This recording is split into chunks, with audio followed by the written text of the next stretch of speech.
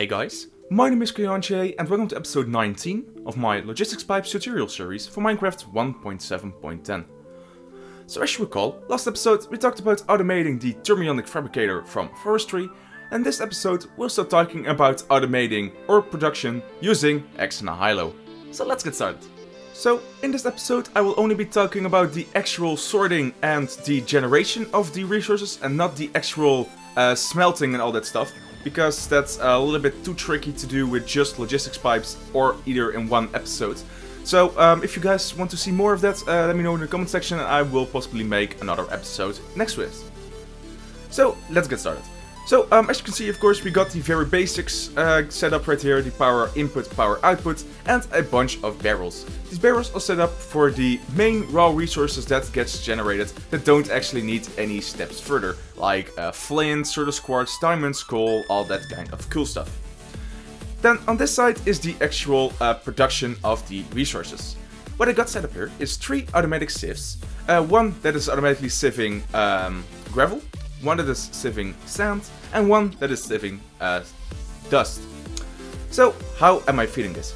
So as you can see, on the back I got myself one igneous extruder. This has three upgrades in it uh, to generate a stack of cobblestone at a time, so with a stack of water and uh, or a bucket of water and a bucket of lava in it, and then it's being sent to either sides. So let's just get started on the right side first. As you can see, I got myself a pulverizer in between these two sieves with the config set to uh, the yellow output set to the uh, right or left one and the uh, red output to the right one. Pretty much meaning that all the pulverized cobblestone will be sent to either uh, gravel and 10% sand.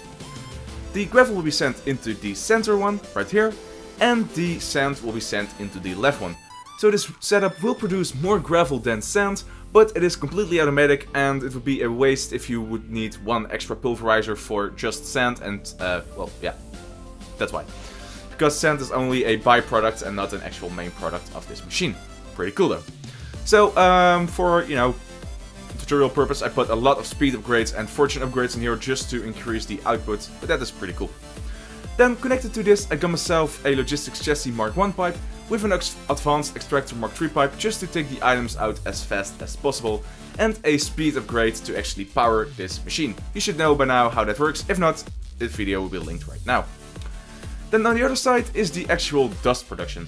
Um, dust is pretty much made when pulverized um, sand, so what I did is I got myself one pulverizer, which is turning cobblestone into gravel and sand as a byproduct.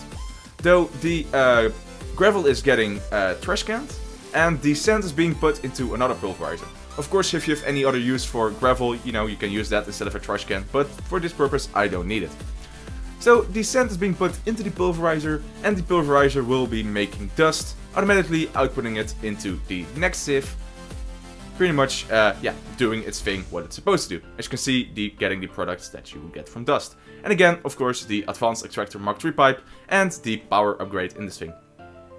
Then I quickly had to loop around back here to actually uh, power these two machines uh, because I wanted it to be fully powered by logistics pipes, but that's pretty much how I did it.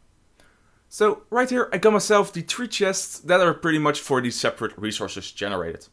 As you can see this chest is for the crushed ores, this chest is automatically being filled with all the broken ores, and this one is being uh, filled with powdered ores. Um, pretty much the way I did this is by using the uh, logistics chassis pipes, which is set to item sink modules with the specific ores set up in here, and of course a provider module if you want to do anything else with this. Pretty cool. Um, a very easy way to actually get a hold of all of these is beforehand, uh, instead of just sorting them, make sure that all of these are being put into the same chest, and then you can sort them on uh, further on, so that is pretty useful. So yeah, that's pretty much done with each of these. So now you got yourself three separate chests with three different types of the broken, crushed and powdered ores. Pretty useful. And then on the back of right here of the barrels, I got myself a bunch of, uh, again, Logistics Chassis Pipe Mark IIs set up with polymorphic item sink modules. Uh, I don't know why I have two in here, but it should be one polymorphic item sink and one provider module. Uh, pretty much set to automatically allow all of these resources to be put in here, so they don't have any other place they need to go.